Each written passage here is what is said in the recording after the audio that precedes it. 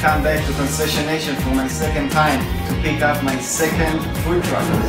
We did the first food truck four years ago and uh, since then we've been working very hard in Detroit, Michigan. Um, it was a really long ride but I'm very happy to end, to end up coming back again to do another trailer. Four years ago, after doing the first trailer, I promised to come back again for my second one, and I made it. This time, I really hope to come again for the third and even more. And see you guys soon.